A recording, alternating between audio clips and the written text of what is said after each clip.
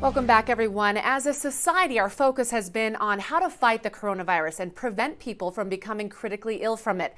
But the virus is putting people's lives in jeopardy in ways that directly have really nothing to do with COVID 19. Dr. Michael Moore, a neurosurgeon with Sierra Neurosurgery Group, joins us now via Skype. Hi, Dr. Moore. Thanks so much for joining us. Hello, thank you for having me. The diagnosis of brain tumors um, have gone down, but you believe that isn't necessarily as good as it sounds maybe to us. No, and uh, it's great that we uh, are not seeing quite as many tumors uh, in the emergency room, but we know in the general, with the general principles of oncology, that there's a certain incidence. And uh, what we see is that the numbers in the emergency room are tending to decrease However, if the general population is a certain number that should be popping up from time to time, uh, the fact that we're seeing less in the emergency room means that probably more of these individuals are staying home for one reason or another. Mm-hmm. And that could be that they're just not being seen by neighbors and subtle changes in them are not being seen that would prompt them to go to the emergency room. Mm-hmm. Or it could be that they're just afraid of uh, going to the emergency room because of the current pandemic. And what message would you give to established brain cancer patients? Um, what treatments are still available and safe in this environment that we are in right now?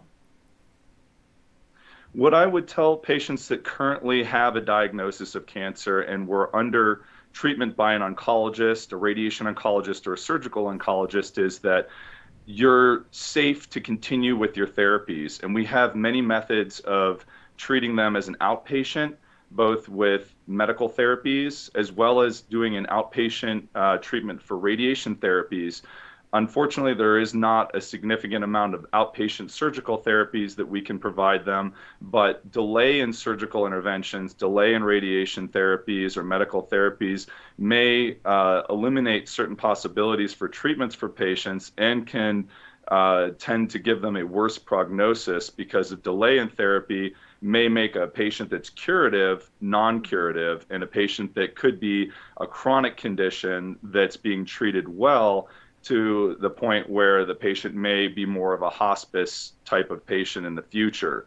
And our fear is that these patients that are not presenting, that are staying home and having delayed diagnosis, may be getting worse prognoses as an outcome because they just delayed their therapy. And that that's our biggest fear right now in seeing lower numbers. And you've seen kind of a similar pattern with with uh, neurovascular issues or stroke patients. Again the numbers in the er are dwindling.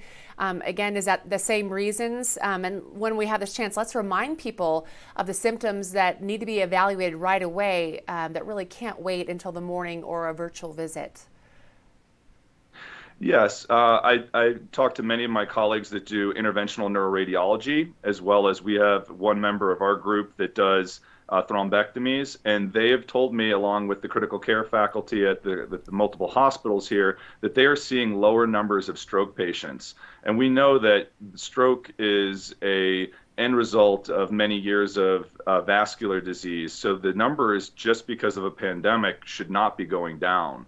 Unfortunately, uh, with stress, sometimes these things go up, and w- delay in stroke therapy is is uh, criti- is is a critical error.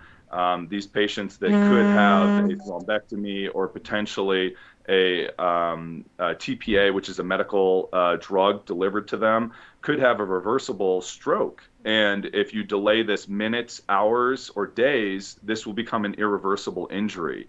Um, and we want to make sure that patients who have a decline in their neural function, so maybe a subtle motor weakness, speech issues, uh, difficulty walking, any of these things should prompt somebody to go to the emergency room.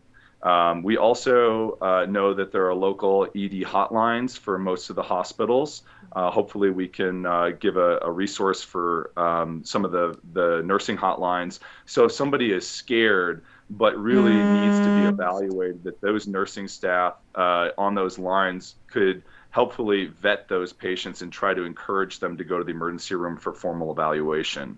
All right, Dr. Moore, thank you so much for your input. We really appreciate your time. Thank you.